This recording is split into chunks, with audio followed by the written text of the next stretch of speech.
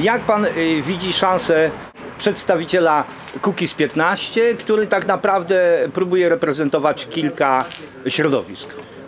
Mam nadzieję, że będzie reprezentować wszystkich łodzianek ostatecznie. No jest- tak, ale to teraz jest cel, przy który- wyborach to tak mówi, że on nie jest z Kukiz 15, on jest z Łodzi.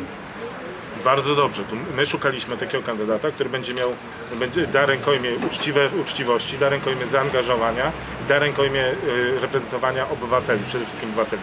My nie funkcjonujemy jak rodzina mafijna, że ważniejsze jest y, dla nas przywiązanie do rodziny mafijnej, czy rodziny partyjnej, czy politycznej. Ważniejsze jest dla nas przywiązanie do obywateli, do tego, co, y, co można dobrego zrobić dla mieszkańców Łodzi.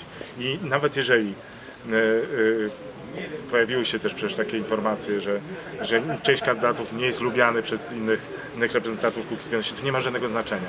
Najważniejsze jest, by e, reprezentowali obywateli, żeby e, e, to, co nas łączy, jest to e, zaangażowanie w życie społeczne, w taki zdrowy, normalny, wolny od tego mafijnego myślenia politypartyjnego myślenia e, działanie. To jest, to jest klucz do sukcesu i, i wierzę, że jeżeli nie w tych wyborach, to w następnych na pewno się uda e, pokazać, że polityka może być inna, że polityka może być przejrzysta i czysta i bardziej ważne jest przywiązanie nie do loga partyjnego, tylko do, e, do herbu miasta czy godła Polski.